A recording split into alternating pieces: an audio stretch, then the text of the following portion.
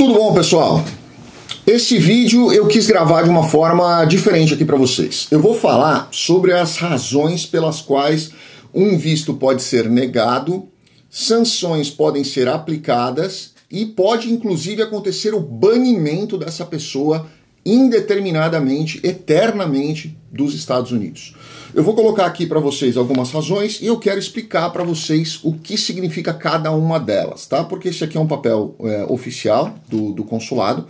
É, ele, ele funciona de forma integrada, então quer dizer, todos os outros consulados no mundo inteiro vão utilizar da mesma forma, das mesmas razões, e essas são as principais. Existem outras razões que podem também ensejar a negativação, o cancelamento e o banimento da pessoa por diversos outros motivos. Então eu vou colocar essas aqui que são as principais e eu quero que vocês prestem bem atenção, bastante atenção, porque eu vou explicar cada um dos pontos desses aqui para vocês tomarem cuidado na hora de aplicação de um visto. Seja um visto de turismo, de negócios, de imigrante, do que for, um EB1, EB2, EB5, qualquer coisa. Lembrem que aqui existem requisitos que se a pessoa não cumprir ou se ela fraudar, ela acaba sendo banida eternamente do território americano. E aquela flag não sai nunca mais da ficha dela, certo? Vamos lá, eu vou pôr os óculos porque senão eu não consigo enxergar aqui. Uh, primeira, primeira questão, seção 214b. O imigrante ou o não imigrante, perdão, perdão, é inelegível para um visto. Ou seja, a pessoa está inelegível para um visto. Se vocês forem olhar na INA, Immigration and Nationality Act, ela fala ali todos os vistos e todos os requisitos que as pessoas, que, que os Estados Unidos querem e que não querem nas pessoas que possam vir para os Estados Unidos como não imigrantes ou como imigrantes. Então vocês vão ter ali uma série de requisitos. Então, quando você tem um, uma negativa ou um cancelamento do visto baseado na seção 214B, é da INA, se refere à INA, e ela se refere à inelegibilidade da pessoa. Não demonstrou vínculo, mudou alguma situação que ela determinava vínculo, uh, enfim, qualquer uma dessas questões mais simples que eventualmente podem negar o visto. Nessa questão aqui, você pode protocolar o visto no dia seguinte, se você quiser. Você traz comprovação de que você tem sim os requisitos da elegibilidade, e aí você é, mostra para eles que você passou a ser elegível e você vai ter ali o seu visto concedido, certo? Às vezes falha em português aqui, muito tempo falando inglês, a gente acaba às vezes assim, se enrolando. 212 a 4. Torne-se em engargo público. Na verdade, a palavra que está escrito aqui é engargo público, seria um.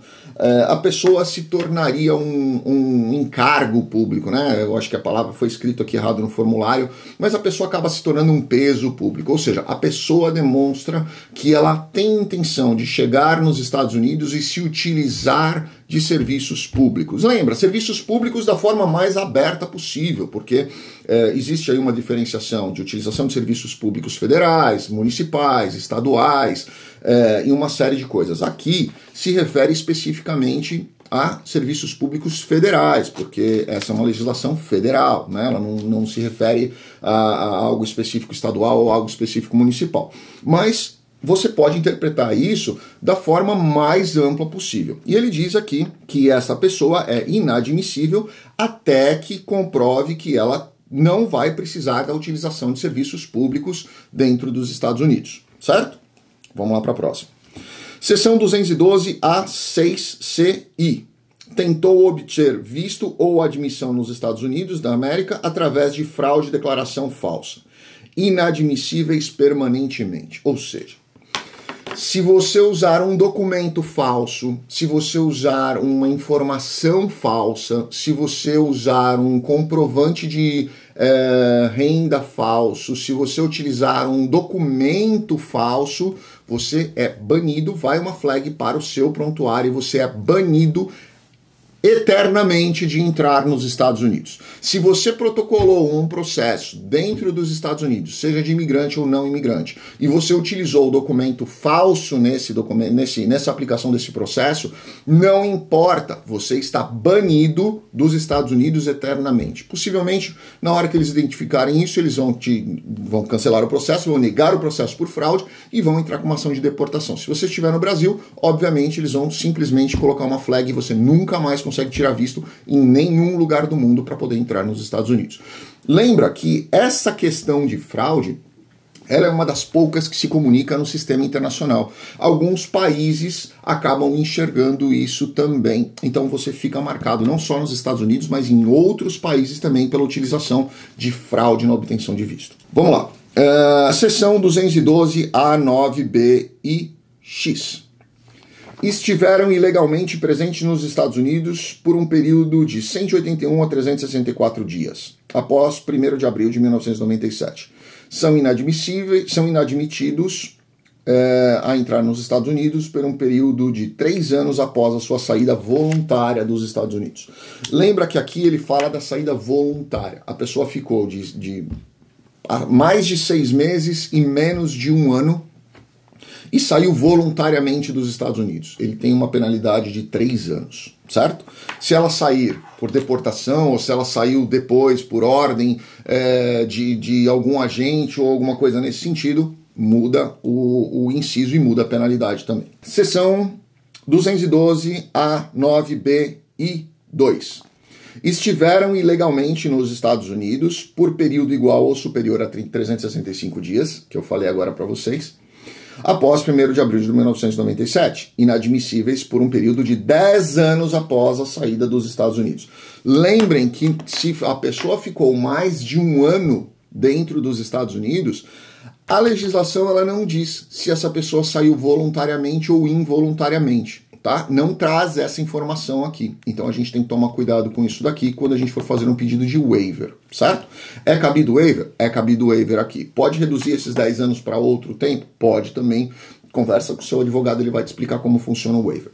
Seção 212A91, A9I, perdão tenham sido previamente deportados ou receberam ordem de deportação dos Estados Unidos, inadmissíveis por cinco anos após a deportação ou saída dos Estados Unidos. Mesma coisa do anterior, tá? Você também é possível você fazer uma, um waiver dependendo da situação e nesse caso aqui são cinco anos de penalidade caso a pessoa tenha sido deportada, independentemente do tempo. Seção 212 A9 e tenham sido deportados ou tenham partido dos Estados Unidos durante o processo de deportação, inadmissíveis após a saída ou deportação dos Estados Unidos por 10 anos. Tá? Ele, ele é muito parecido com a questão ali do 212 A9B e 2.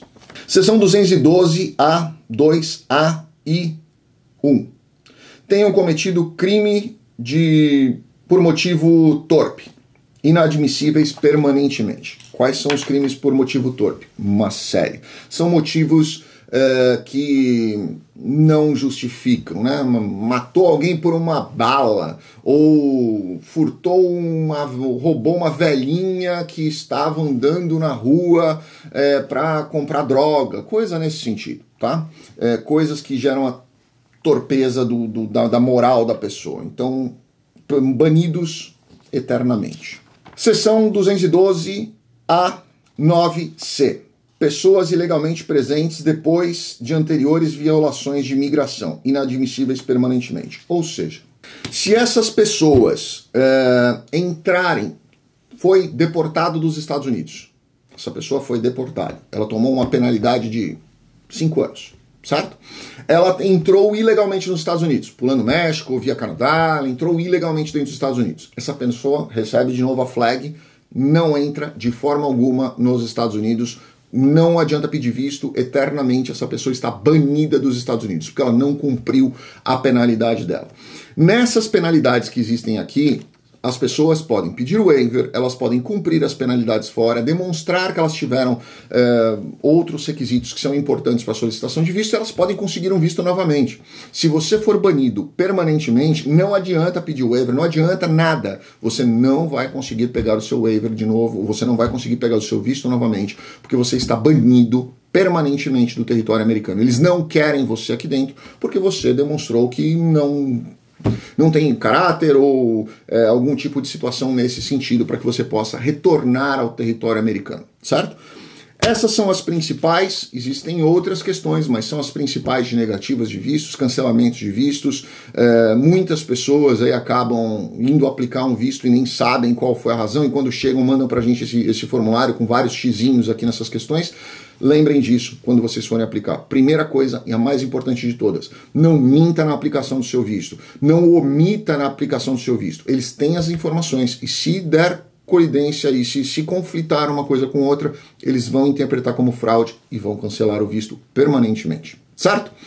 Deixa aqui embaixo se já aconteceu alguma coisa dessas aí com vocês. Com certeza vai servir para as pessoas é, se tomarem cuidado e não cometerem esses mesmos erros e vai somar bastante aqui com a gente. Grande abraço, fiquem com Deus. Obrigado.